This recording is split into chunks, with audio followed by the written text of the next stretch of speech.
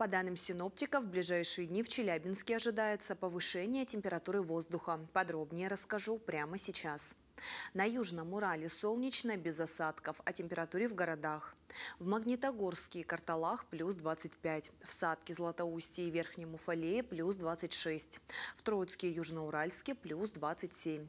Температура воздуха в Челябинске в ночные часы стабильно плюс 12, а в дневные часы в четверг и пятницу плюс 29, в субботу плюс 30.